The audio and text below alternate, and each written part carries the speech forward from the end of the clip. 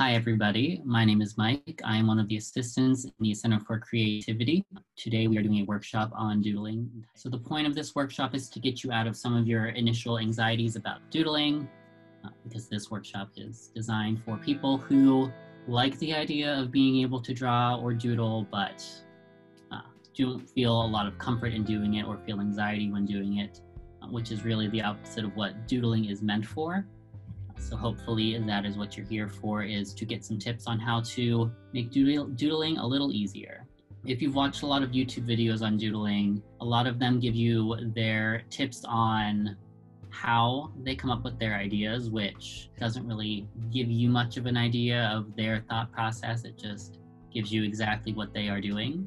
So going to try and give you something concrete here for this. First, let's start off by talking about what doodling is. So very easy, the definition of doodling is an aimless or casual scribble, design, or sketch. In the definition of the word, it is not supposed to be fully fleshed out drawing or idea. And so the important question is, if you don't have that creative spark, or you can't think of an idea, why are you even trying to do this in the first place?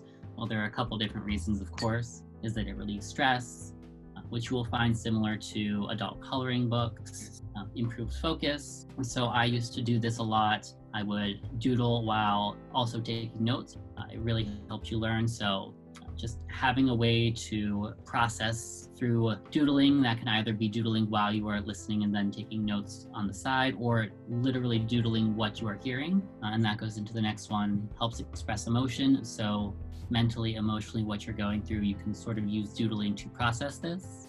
Not something I can necessarily give you in this workshop. What I can try and help you do with doodling is provide you with a low stakes outlet to experiment, play around with different techniques. And one thing doodling will inevitably help you do if you continue to do it is develop your own artistic style and comfort with coming up with ideas and what to draw. So these are all my personal examples of doodle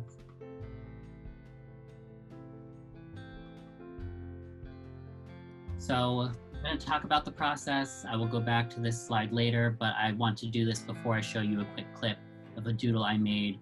So everyone's going to pick a theme. You're going to draw the object. We're going to choose tangles or patterns. So we're going to use Zentangles because there are a lot of patterns you can find online after this. You'll draw the patterns, you will pen it all in, you will erase your initial lines, uh, and then you will add any details that you want. I just want you to be able to keep that process in mind as you see in the next 30 seconds what I did. Erased lines there, added some of my patterns, pen those in, um, more patterns, pen those in, erased a whole bunch of lines from that. So I started adding details and color, added more details, erased some of my initial ideas for details, um, and then just kept adding details. Just wanted to show you the process of what it looked like. Three hours of doodling went into this. So what you're gonna need, you're going to need paper, pencil, eraser, pen, um, and colors if you want. So the idea, again, don't put too much thought into this. Remember, it's supposed to be absent-minded, so don't try and make perfect things, just draw. If things start to look weird, you should really embrace that, because that's how you're going to start to actually get more creative and work through. So even with that candlestick one, I started thinking about different ways that it would drip onto the candle and then how the flame might move and then what the smoke might look like. So you should really let your head flow as much as possible.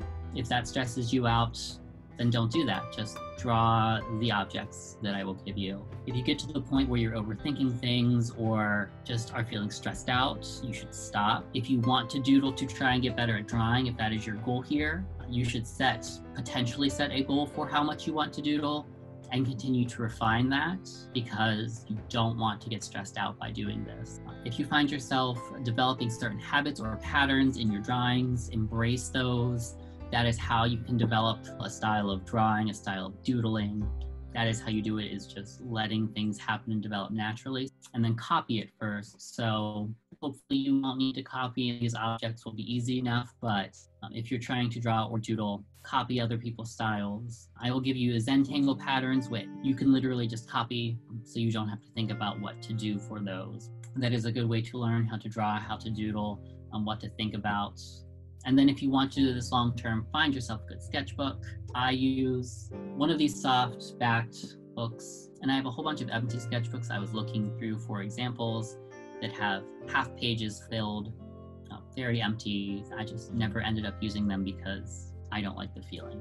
So sketchbooks can make a difference too if you are trying to do this as a long-term drawing process. I'm going to drop a link in the chat. This is a random object generator. So I want you to go to this website and just generate an object. If it is something that is too difficult, please feel free to refresh it. So what we're going to do now is we're going to draw the object. I want you to try to erase as little as possible. What you will do is you will use your marker or pen later to refine and uh, make exact lines. So if you find yourself going back to your eraser a lot, you're probably overthinking. If you want to make one very big one, you can. If you want to make a bunch of small ones, you can. If you want to write the name of the object somewhere on the paper or just write that word several times, you can. That is all doodling. Uh, and then you're going to put the patterns behind or around or inside of. That is really up to you. Um, so my example was background for all of the patterns, but for the live drawing, I will do, as you are all doing this, I will put them inside of the object. Uh, and then you're going to pen everything in, erase your lines. Um, and then if you want to add any cross hatching or other types of detail, color things in, this is when you will do that. And remember that this doesn't have to be all at once. So if you want to get in a pattern of drawing one object, penning that in, drawing another object, penning that in, doing some outlines, and then penning those in, you can continue to do this in any sort of pattern that you want. So if it feels natural to draw an object and then pen it, draw another object, pen that in, um, or just draw everything and then pen all of that in on some music here and give you about 10 minutes to just draw. Like I said, mine is a shirt button, so.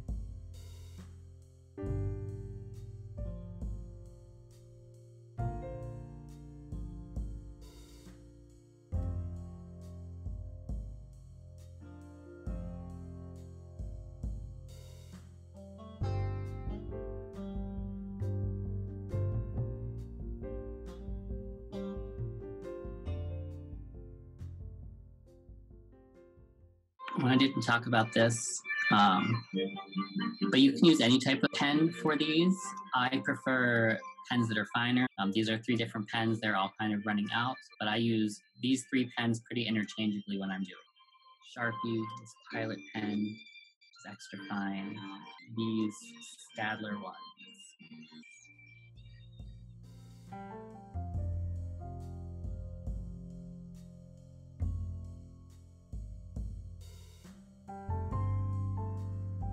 Go to this slide here with all of these Zentangles on.